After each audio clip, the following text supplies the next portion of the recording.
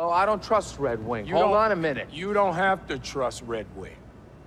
But I'm gonna go see if he's right. 'Cause I have a feeling they might be a part of the big three. What big three? The big three. What big three? Androids, aliens, and wizards. That's not a thing. That, that's definitely a thing. No, it's not. Every time we fight, we fight one of the three. So who are you fighting now, Gandalf? How do you know about Gandalf? I read The Hobbit in 1937 when it first came out. So you see my point. No, I don't.